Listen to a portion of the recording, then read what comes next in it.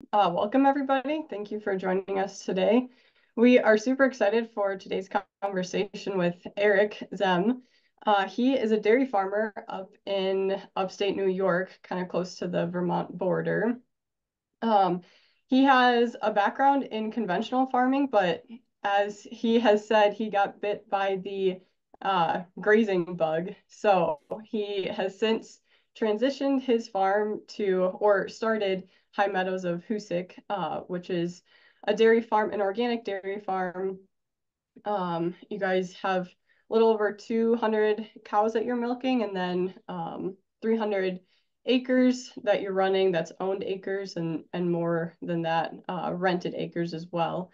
Um, so we're super excited. I don't know that we have had a lot of dairy farmers on webinar series. So we're super excited to uh, have this conversation today. And with that, I will give it over to Eric and he is going to share his story with us. Great. Thanks. Uh, thanks for the team at Green Cover and uh, Kate for having me on. And uh, I always like to uh, share my story and and uh, also learn about other people's stories. So um, we'll we'll jump right in. Here's a here's an overview from one of our pastures looking down at at the farm. We're a, a startup operation, um, 2018.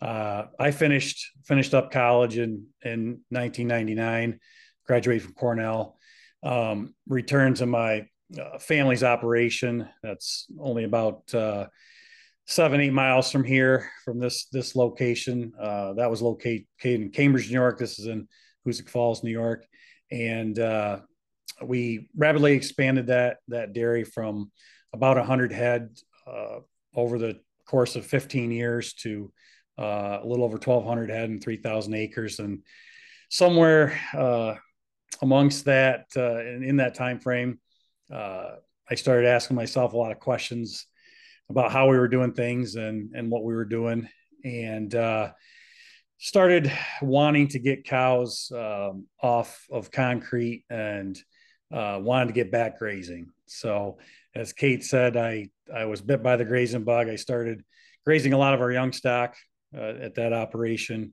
and uh, got to where I just made a decision on that's what I what I want to do and how I wanted to manage cattle. So uh, took a step uh, sideways and uh, was able to uh, come across this farm in Hoosick, New York, that was easily certifiable and organic, and made that move and was able to secure a milk contract with uh, Stonyfield, uh, Stonyfield Yogurt in Londonderry, New Hampshire, uh, now owned by Lactalis.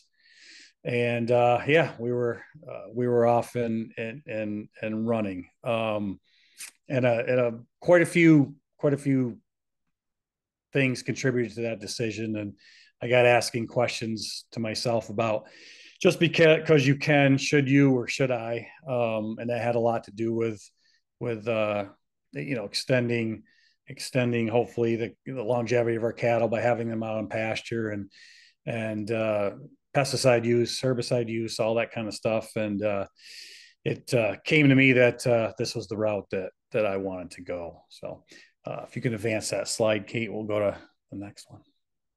So uh, I always say the reason uh, the reason I get out of bed in the morning is is right here. Um, and uh, so my wife Jamie and myself in the center.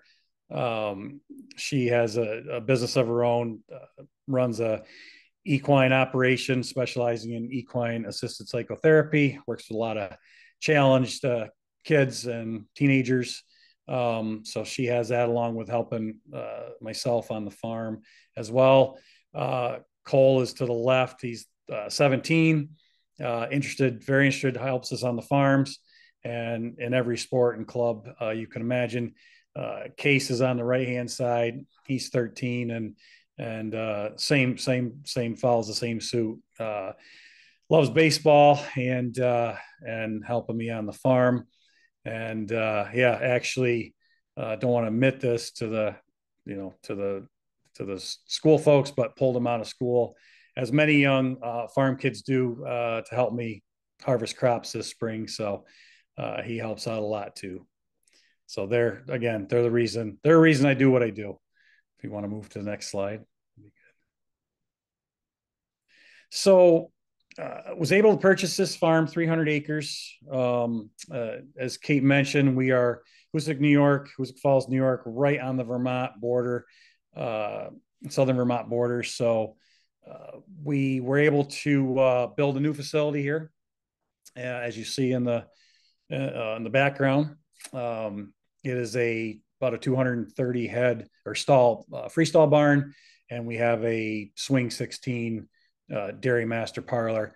So our goal is to to milk a little over 200 cows in in a little over two hours, so that we can uh, you know get the cattle back out grazing and and and do what they need to be doing um, as as quick as we can. Uh, built a facility uh, with hopefully with labor efficiency in mind, um, going from the larger farms, uh, trying to track, being very uh, you know, cognizant of of labor efficiency, but then again, uh, you know, trying to balance the economics and all of that. So, uh, our latest project, uh, you can maybe see on the left hand side of that barn, we we installed a solar array on top of the roof, so that we can be one step closer to to being energy independent, which is uh, one of our sustainability goals on, on the farm. Um, and you can advance to the next slide. So I I joke uh, I, I, joke to people uh, our cows have a better view than than a lot of the people here in our area. So this is uh, just a, a, view out of the the backside of the freestall barn. Uh, some early spring grazing. Uh, if we could have uh, a grazing season full of of the month of May, life would be easy. But but unfortunately, that's not the case as as we're almost entering July here and trying to balance the heat and the and the challenges of of, of summertime. Um, uh, go on to the next slide, and we can start talking about uh, what we focus on with with grazing. Um, so here's another picture. Um, uh, just our cattle out uh, grazing. Left the very left hand side of that that photo is is where uh, they were initially grazing, and then kind of split down the middle. We we try to accomplish uh, on most days multiple moves and that just gives us a little uh, better utilization of uh, the different species of grasses and the um, the maturity of the grasses. Um, so that's what we're uh, trying uh, trying to you know to a- accomplish. Um, we actually entered this farm uh, 2017 2018 and we all, all we had was a monoculture of of orchard grass and i thought it would take quite a few years to to see the diversity, but uh, through multiple moves a day, good grazing practices, um, the default of not having enough uh, money in the budget, uh, which I initially thought I would need to do some reseeding of pastures. Uh, we were able to do it all with improve our pastures, all with uh, the the basic principles uh, of you know of regenerative ag, organic regenerative ag, and and uh, grazing, rotational grazing. So uh, we've seen uh, really nice uh, diversity come into our, our pastures. Uh, next slide, please. So here's a little better view of, of where the cows were and, a few minutes before and or and where we're moving them into and really trying um, to get a real good trample. Uh, and this was something I didn't uh, didn't know a lot about uh, four or five years ago. It seemed uh, more like a waste um, uh, in in your simple general mindset. But uh, you know, if we can get that really good trample on the left hand side and and work in the the, the dung and the and the urine and keep these cows eating a diverse diet that's that's really our goal. So um yeah so this is really what i think uh, one of the keys that helped us uh develop these diverse pastures. After we started doing this we really saw uh, a lot of the the clovers come in uh, the legumes seem to really pop. And uh, as many of you probably know uh, there's a lot of a lot of latent seed in the in the ground, and and uh, clover stays viable for a very very long time. We just had to get it uh, activated. Um, so yeah, so that's that's what we're trying to accomplish. Next slide. Yeah, and just a, a closer up a photo. This is actually in a a, a young stock uh, heifer pasture, and uh, what we've gone to, uh, what we've moved to here is we're actually trying to graze uh, what would be uh, deemed as over mature forage um, uh, grasses that are headed out um, so that they're actually getting a, a very balanced diet. And it's amazing to see the cattle um, eat the seed heads uh, and um, you know be able to u- utilize that that grain proportion or what I would I would classify as a grain proportion of the of the um, of the uh, uh, grass. Next slide. Yeah, so here's another picture. So this is this is something I wouldn't have of you know thought much about four or five years ago um, and just uh, learning from from other uh, successful grazers in both the, the beef and the dairy side um, this is these are the kind of pastures that uh, that we hope to graze for our our at least our dry our dry stock and our our, our young stock i'm still working on uh, on this with the with the milking herd and haven't quite uh, got there uh, uh, arrived there yet but uh, this has proven to be um, what I would call dynamite pasture for for the for these uh, cattle that don't have the the higher requirements like the lactating cows. So, but again, we don't we are not a we are not in a grass fed milk market, but um, we don't feed any grain uh, to our dry cows or our, our heifers, um, you know, through the through the grazing season. Um, wean calves still receive a little bit up to about five six months of age but after that uh, we've been able to to cut that uh, expense right out of our uh, program um, and then uh, along uh, we can go to the next slide and along with that and then uh, you know good utilization of of manure onto the next. I think we got oh we can probably skip this one. I think this was just a video but uh, there we go.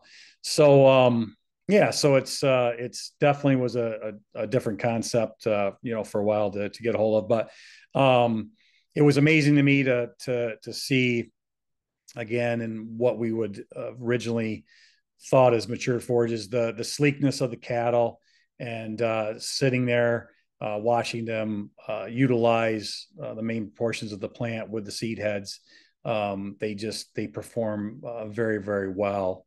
Um, and the reason I want to go back, uh, the the one reason that I wanted to make the the switch to grazing and have definitely enjoyed the the benefits of is I had uh, more of a, a, personal ethics and, and issue with um, some questions I was being asked on my conventional dairy from from some consumer type folks or people that were uh, a little less educated uh, in the in the dairy industry, and one was uh, the life expectancy of cattle.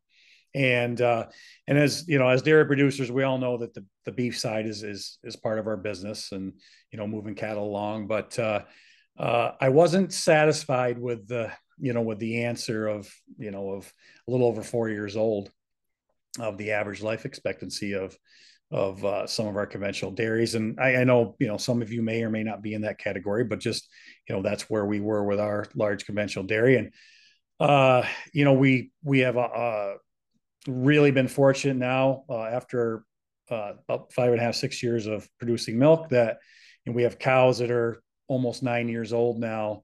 Um, you know that were uh, raised on the farm and and uh, and came in and calved on the farm and have spent their life here. That uh, we're seeing, uh, you know, a much greater average age of productivity. So that's something that I believe uh, can help us all as an industry um, and can be marketable for you know for if you're selling your own product or uh, if we're trying to help uh, you know help market the the product that where our our milk goes to so um, that's been a very rewarding uh, sector or or part of of making this uh, making this change and and uh, seeing that seeing that come come through uh, full circle.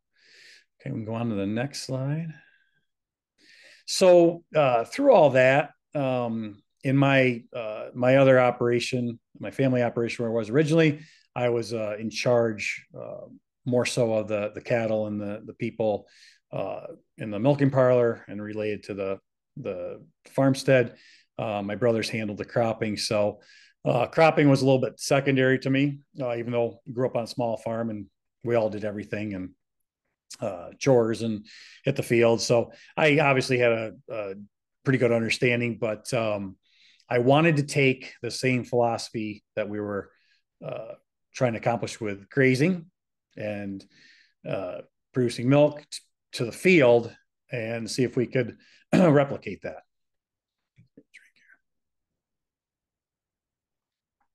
So uh, I started uh, started working with um, uh, Kate and talking about some of our goals and what we uh, wanted to do, and uh, virtually turned it into just a mass uh, science experiment of trying to see what what works and what didn't work. But uh, I really loved the diversity aspect and what I saw that did for our performance, and uh, knowing and, and, researching and uh, being able to enhance the biological activity of the ground of our land and all that. We uh, we went to some diverse uh, mixes, and uh, the one on the right uh, side of this this picture, as you can see in the this description, is um, some barley, peas, oats, and triticale.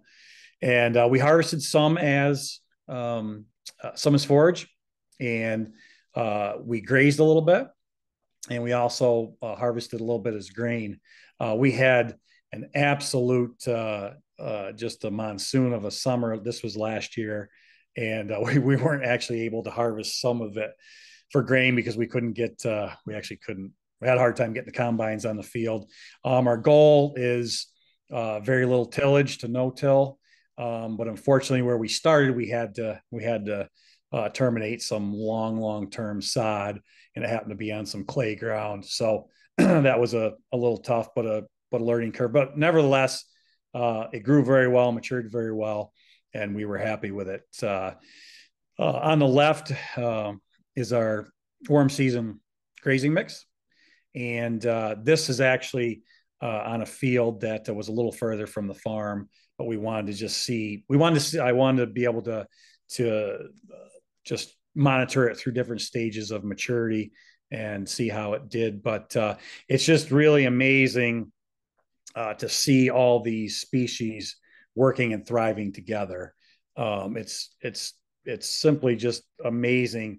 And one thing as as farm folks as uh, that we do is we always seem to be on the run, on the run, on the run, on the run. And uh, there's a few other leaders in the uh, the regenerative ag movement uh, that'll that uh, I'm just uh, you know voicing what I've heard them say and and it's observation. So we try to take more time now to just look and see you know how these how these mixes are doing on a, on a, on a hot day, on a cooler day, on a when it's wet, when it's dry, and uh, and be able to to make um, you know make future decisions you know based on how that's growing.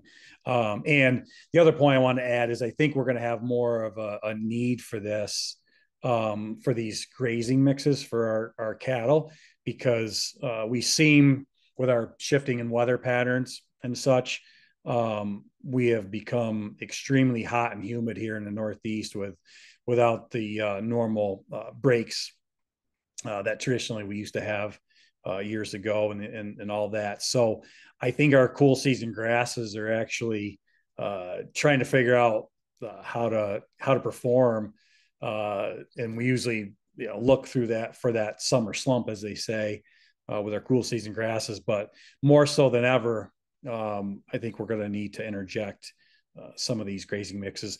Uh, also, this year we experimented with uh, uh grazing really tight uh, with our milking cows on a on a field, and then we no tilled in a very similar mix uh, with this. So that's up and growing right now. Um, it's definitely not the easiest thing to do to no till into a, a, standing sod piece, but these these varieties seem to be pretty resilient and uh, seem to be uh, fighting through the the sod base and, and coming up and uh, and and looking pretty good. So uh, this year, hopefully, have more pictures of those.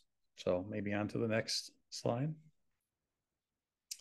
Uh, this is a, a later uh, picture of that same mix with the the peas, barley, triticale oats, and again, you can you can see everything. Uh, you could almost pick out every species there, and uh, I was pleasantly surprised on how uniform the stand was. And again, being being organic, basically all we all we have for for fertilizer inputs is whatever comes out of the back end of the cow or whatever we can spread on the fields of our of our own manure.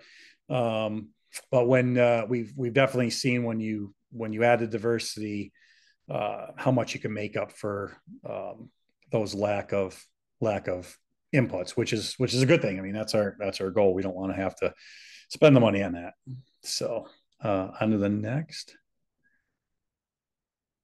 Uh, this was a, a field uh, of uh, sorghum sudan and forage beans. Um, and we're still trying to uh, now that we're actually getting uh, good uh, good yields and and good establishments, we're just trying to figure out uh, what's the most cost effective for uh, for what we want to plant, how we can harvest it. Um, this year we uh, we swathed and and chopped, um, but it's uh, the sorghum sudan grass grows can grow very very well. It seems to for us smother out any weeds if we if we have a field that has some weed pressure. Um, we did again this we did lightly uh, lightly till um, to get established, and then hopefully we won't have to till it for a long long time again or ever again. Um, and then we followed this up. Uh, nice thing about these summer uh, forages, summer annuals, uh, we can we can get a, a pretty early diverse cover crop on. So we are able to uh, to drill in a cover crop. Uh, then we provided us some uh, some spring forage. It was a, a triticale uh, blend uh, with some crimson clover and a couple other things. All right, on to the next one. I think it's going to be a close up. Yeah, so this was uh, this was at an earlier stage. You can see the the beans uh, and the sorghum sudan, and you still see a little bit of the grass um, that we were kind of fighting through because it was probably 15 to 20 years of of sod base that we were trying to establish some of these uh, some of these summer crops through. But once uh, once it got up and going, it, it, really took over and suppressed the grass. So it uh, ended up being a very nice crop. So, um, all right, what's next on the slide? Oh, this is a, uh, a little more mature. You can see the buckwheat popped up through and oh, all the everything in there. Um, but you just see uh, what's amazing about at this stage, you see uh, the pollinators, uh, you see the bees and the butterflies and all the insects.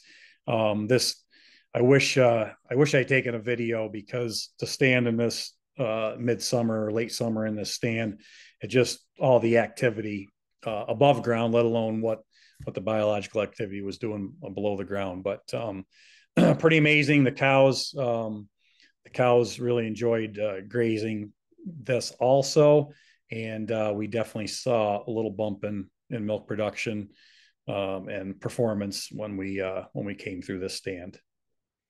So next slide. Uh, so then our next goal um, for wintertime feed was uh, we were trying to uh, establish a crop that we could direct chop.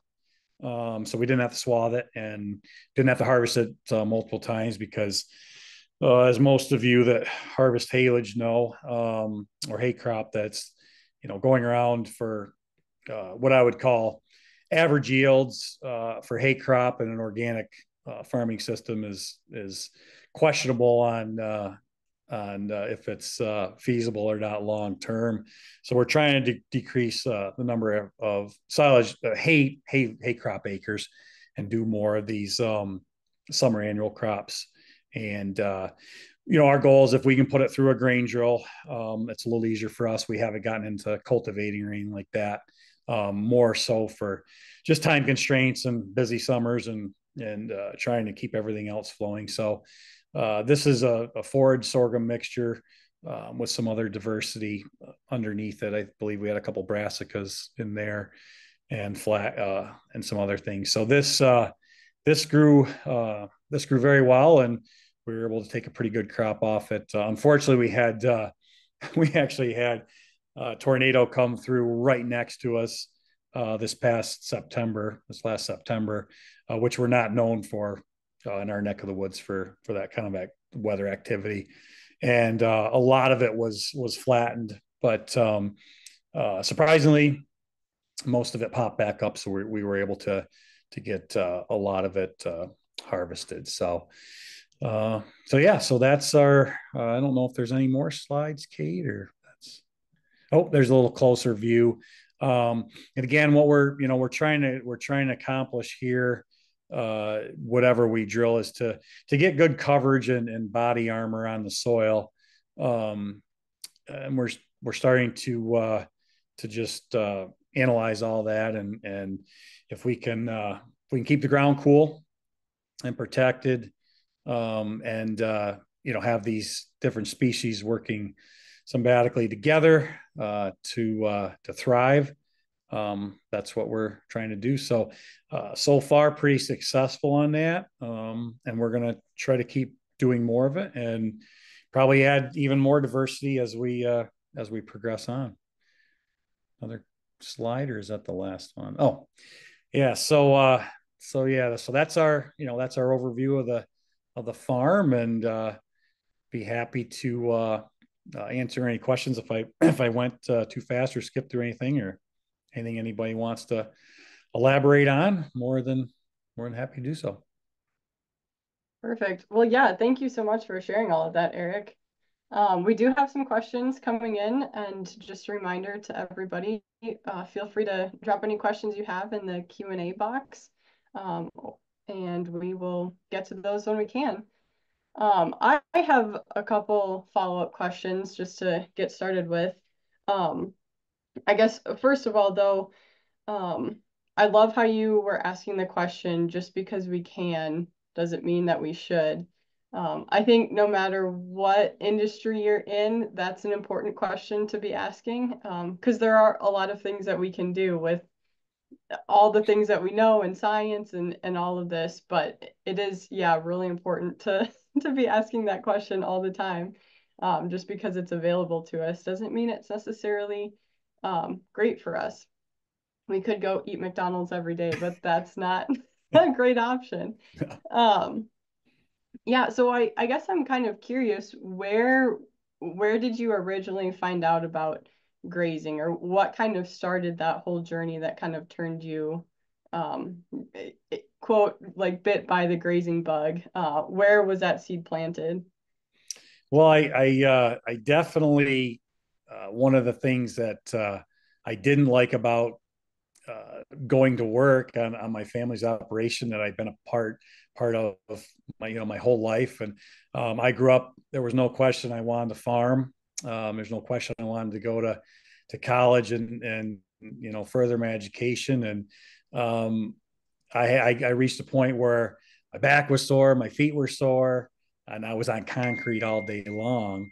Um, and I just said, "Oh, well, if I don't want to be on concrete all day long, and I'm and I'm not, you know, I'm not here to bash. There's a there's a there's a ton of conventional folks that do a super job with cow care and and uh, you know and all that. So I'm not here to to to down that one bit. I just I'm just sharing my personal beliefs and and thoughts and and I said, you know what?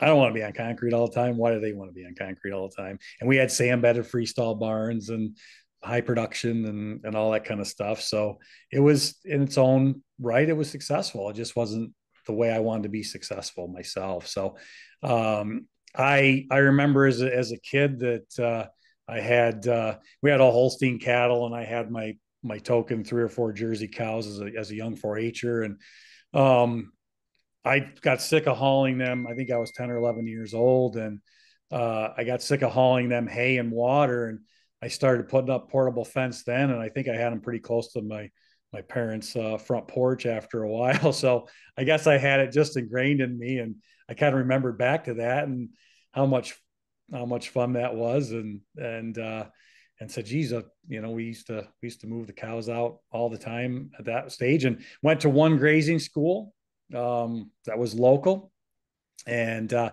was geared a little more towards uh, finishing beef cattle." Uh, okay. but obviously, as people know, if you can finish beef cattle, uh, same type of energy requirements as as dairy cattle. So it just it just clicked, and and uh, once I started doing it, uh, I was just I knew I was that was what I wanted to do. Yeah, yeah, that's awesome. So you talked about improving your pastures, the the native cool season pastures. Well, they were orchard grass pastures um, but slowly you've been able to kind of revamp those pastures. And you mentioned being able to do that with the rotational grazing. So just for a clarification, you did not reseed anything, any of those new or the native, I guess they were always there.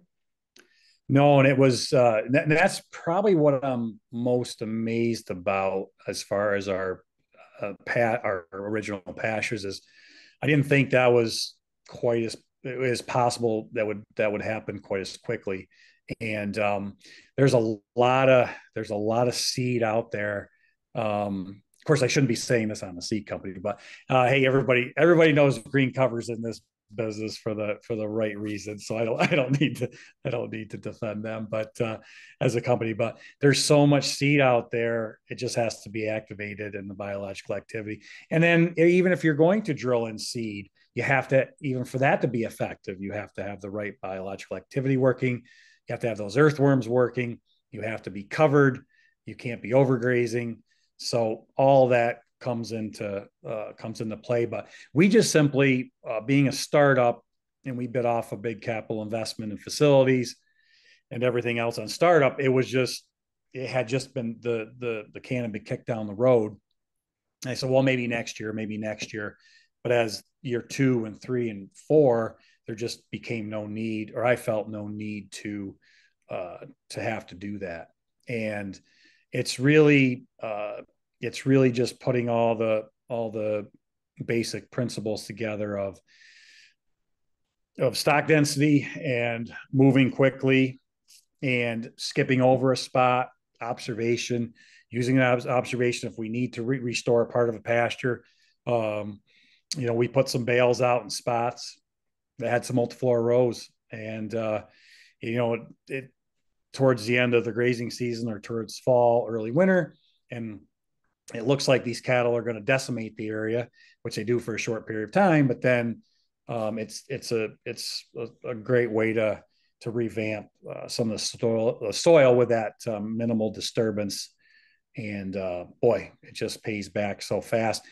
And in the moment, it seems like maybe you need, you think you need that sector of land, but just giving it the extra rest, it, for instance, that it needs, or if you do overgraze by accident, just the rest, you know, um, integrating that into your system or your plan uh, seems to pay back tenfold the next year. Yeah. Yeah. So you hosted a field day with Understanding Ag last fall. Is that correct? Correct. Okay. Correct were you doing any like species analysis, whether it was for plants or like the bird species, uh, any sort of soil health testing around the property, or even uh, tests for the animal herd, like uh, milk production levels, fat content, all of that kind of stuff? So, so that's yeah, great questions in there. So yeah, we we uh, were very fortunate to be able to host a Soil Health Academy.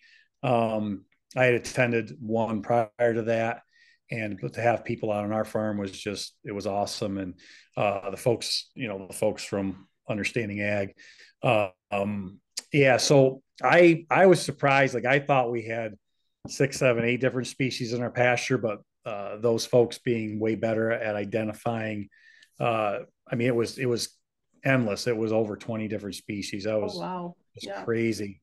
Um, and then and just you know all the classes all the classes were represented and and it's uh yeah it was just it was really surprising to me that uh that uh you know that could happen and, and they were very complimentary Uh, one of the consultants had been out to the farm a few years back and uh, couldn't believe the progress we had made uh, just in the two years or year and a half since he had been there. So uh, that was that was pretty gratifying and reassuring that you're doing the the right things because you can take a snapshot of today and think, oh my goodness, we we really messed that up, or we overgrazed, or we didn't graze quick enough, or uh, back and forth. But uh, having that, you know, taking the bigger, stepping back and looking at the bigger picture, um, you know, it was it was really good. So uh, we are uh, actually I got to tip my hat to to Stonyfield, uh, our our milk company, yogurt, yogurt company, where we sell our milk. Uh, we're a part of an OpenTEAM program with them, uh, and they're helping us measure uh, carbon levels at different um, inches in the soil, soil organic matter, and a few other things, and starting a benchmark with their other direct supply farms. And uh, so as we go down the road, we're going to have some, there's some measurability and uh, there's some progress tracking there uh, that we'll have some reports on. So we've, we've just, we've just started that a few years ago. So, um, and as everybody knows, it, uh, it takes a little while to, to move, to move those levels, but uh, that's what we're definitely focusing on now. And we can, we can measure it and and uh, you know then help try to manage that better yeah for sure so that can kind of launch us into uh, some of the um, attendee questions that we've got so evan asked why haven't you gotten into the grass milk market so while we're on the topic of uh, where you're selling your milk to kind of just give us an overview of why you chose to go with stonyfield and kind of the process to become organic or why you chose to go that route? And then, yeah, Evan's question, why not the grass milk market specifically?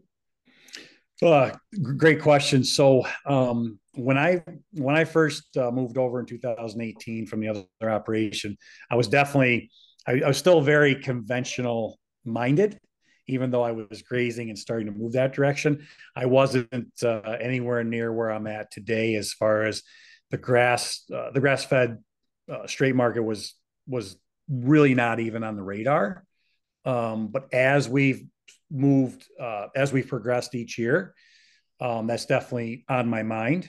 And uh, we have gone from feeding, you know, 18 to 20 pounds of grain a day when we first started, uh, and trying to mask a lot of our imperfections. I think on on that, uh, you know, now we're we're down to you know eight to ten in the summer so we have cut that almost in half a little more in the wintertime but it is on the radar um, and we're starting to uh, yeah we're starting to take a look at that but it's definitely an option um, we don't have a lot of options in my neck of the woods um, there's a there's a, a, little more of a cohort of of grass-fed producers in central and western new york pennsylvania um, there i mean i could I could explore some markets there too, um, and may look into that. But uh, so that yeah, that's definitely definitely on the radar. And as we as we get better with our grazing, that makes that more of a viable option. Right. Yeah. Yeah. And uh, Burke is asking, what is the what breed of cow are you using? It looks like there's a little bit of a conglomerate. So what what's in there? So I can't decide what I like. So I have everything. We no, so we're Jersey, we're Jersey based. Um, and uh, we had we started with some conventional uh, higher productive life life type Holsteins that we pulled out mm-hmm. of my family's operation when I first made the transition. Um, and a lot of those cows are still around, but a lot of a lot of Jersey, and uh, we've actually started incorporating some uh, some Ayrshire back in, and they're milking some crosses. So uh, haven't haven't found the perfect cow yet, but we're definitely uh, we're definitely trying to stop, stay with that smaller framed um, Jersey type type cow that we're we're pretty happy with. Yeah, well, there again, even for the cows, there's there's beauty and diversity above ground yeah. too. So that's awesome. Uh, Burke is also asking, how and what do you feed in the winter? Gotcha. So uh, we actually um, we are feeding just haylage, uh, chopped haylage, some baleage, uh, and then we keep it real simple. We feed a cornmeal uh, steam flake corn mixture and then uh, just a protein mix with minerals. And but the protein basically only consists of roasted soy and, and soy meal. So uh, wintertime, it's usually nine to 10 pounds of cornmeal and three to four pounds of protein is where we're at. And that maintains an average, you know, herd average days of milk, about 165 to 70 during the wintertime. Um, high 40s to, to close to 50 pounds of, uh, of milk production per day per cow. Uh, components, our goal is always 5% fat, but we're about 4, 8, 4, 9% fat as we still have some Holsteins and crosses in there.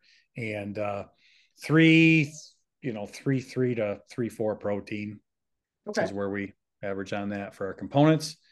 Um, and that's, you know, that's definitely the name of the game. Um, and I did want to add, I think I might have skipped over it, but uh, this year um, was one of the first years we didn't see what's deemed as that seasonal depression in um, in butterfat as much in protein. Okay. So we're starting to analyze, and we're really not. We're not. Our feed inputs aren't much different than just our pastures keep evolving.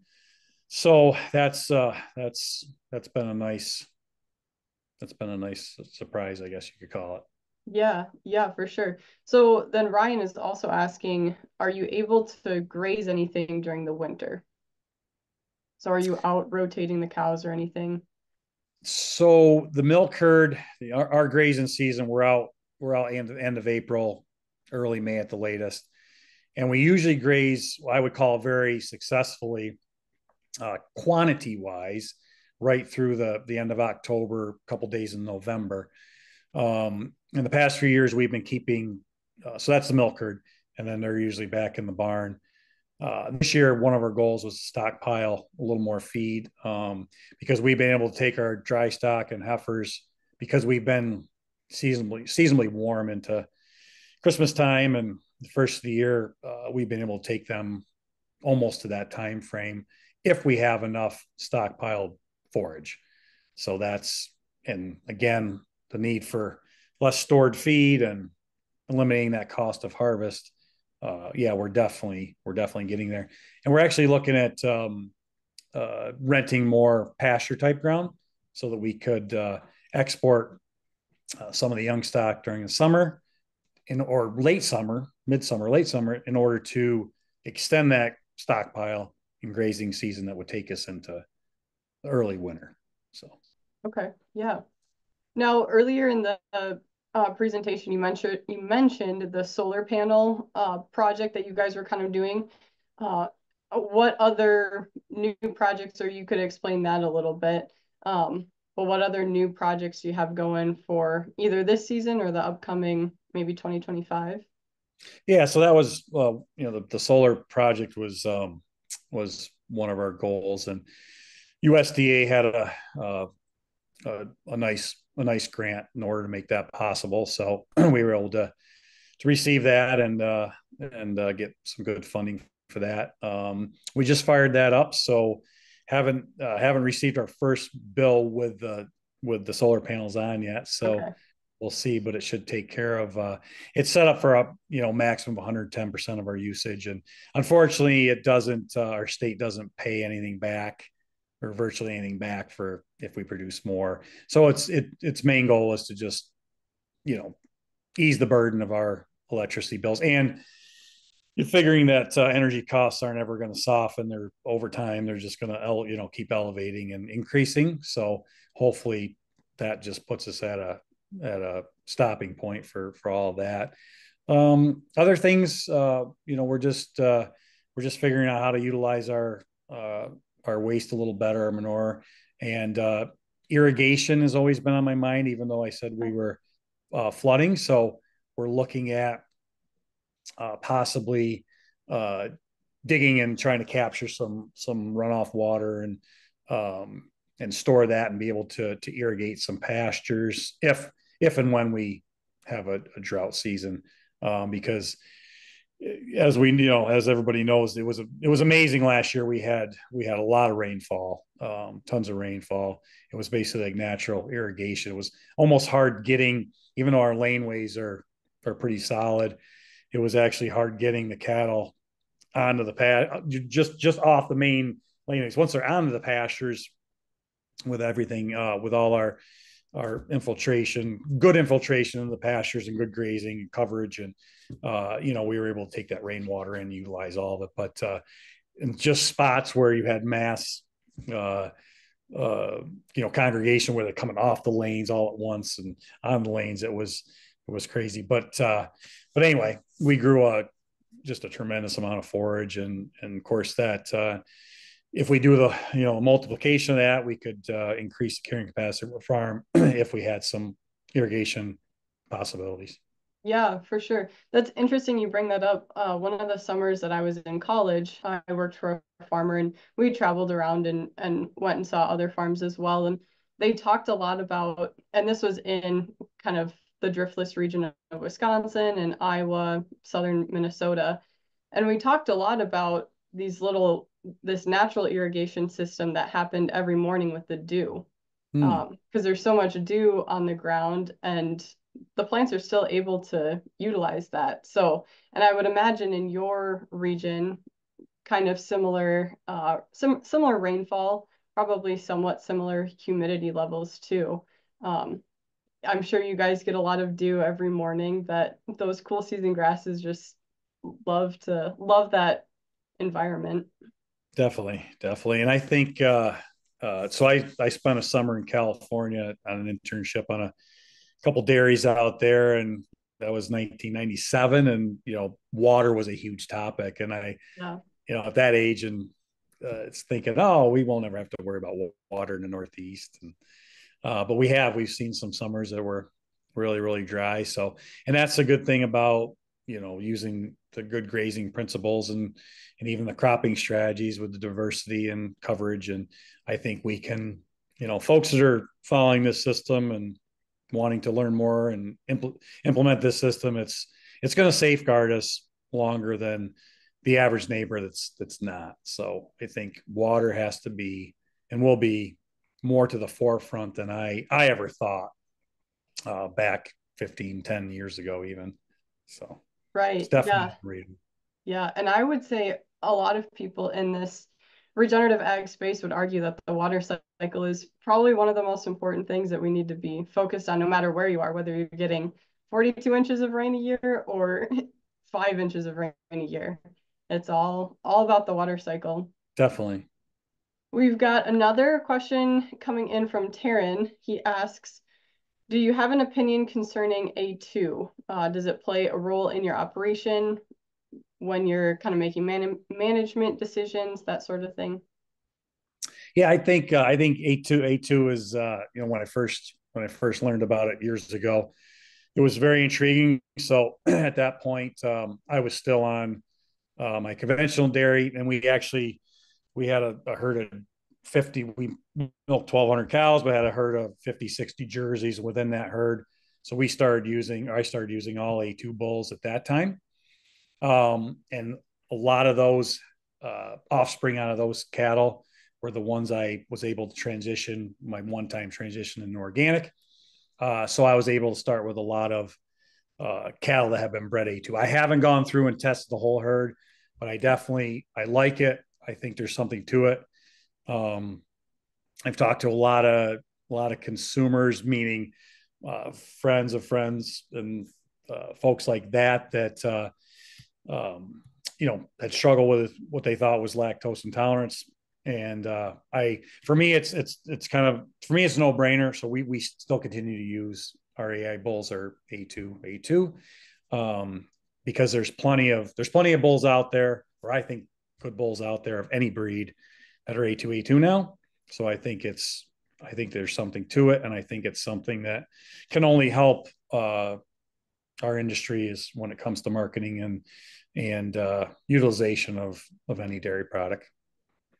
Yeah. So you mentioned being in conversation with consumers. How has that changed or evolved since uh, when you were in conventional dairy uh, to now being in organic?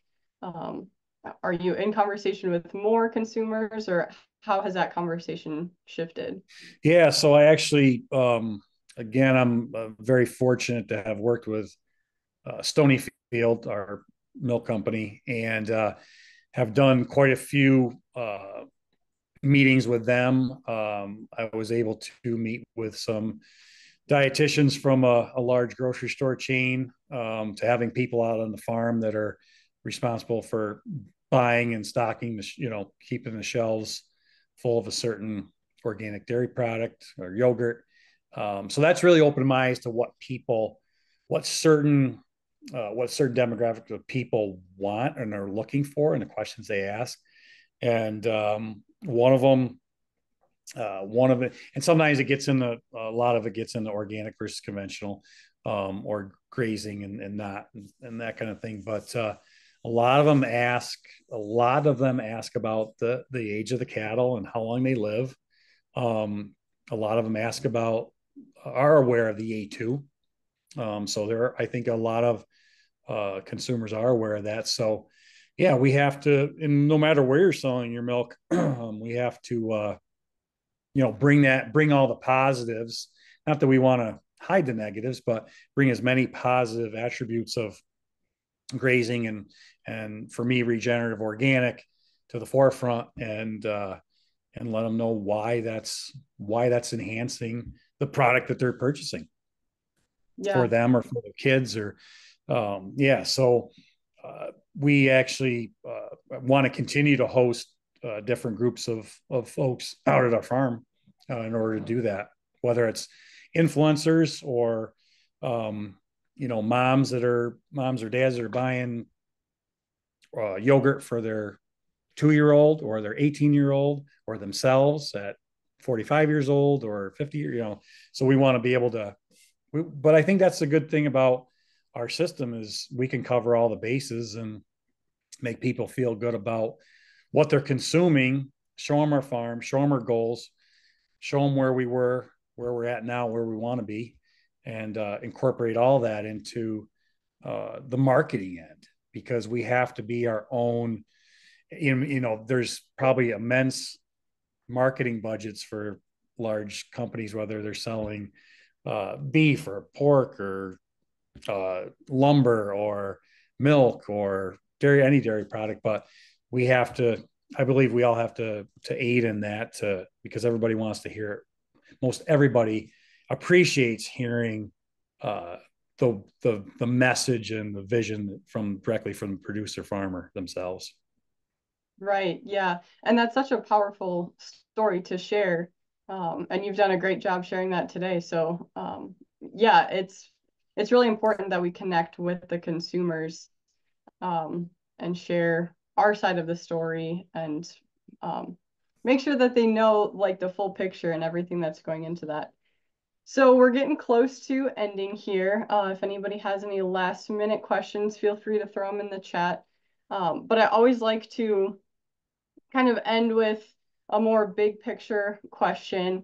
Um, so what is most exciting to you about the regenerative ag movement and, and where do you see this going in the future? And um, I guess, how do you see yourself uh, playing a role in that uh, movement as a whole.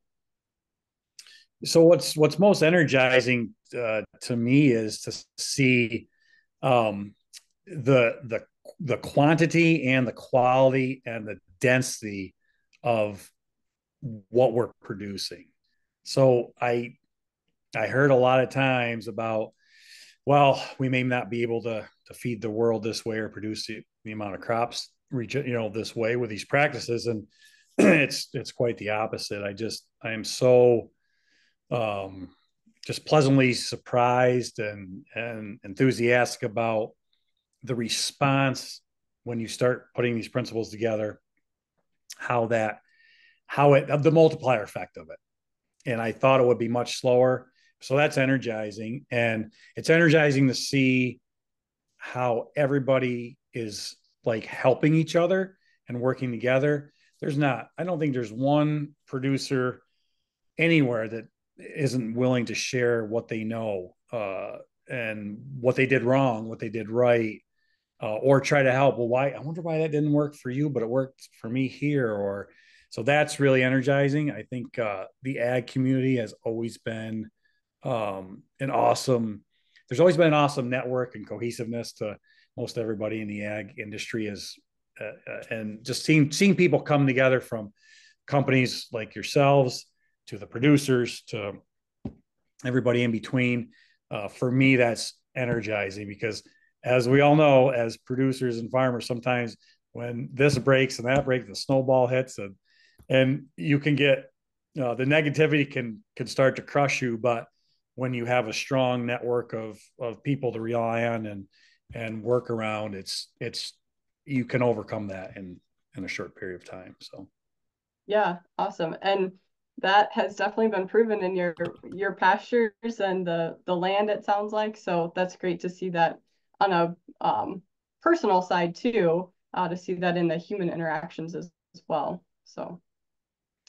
Awesome well, uh, there are no more questions in the Q&A box, so I think we'll probably wrap up here. Thanks again, Eric, so much for sharing your story, and thank you all for joining the webinar today, and we'll see you next week at 12 o'clock. Um, sorry, no, we're taking a break next week um, for Happy Independence Day early. It'll be July 3rd next Wednesday, um, but we will be back um, that following week, that would be July, let's see, July 10th. Um, we'll be back and we'll have Kevin Wiltsey on for our speaker. So join us all for that. And thanks again, Eric. Thanks, everybody.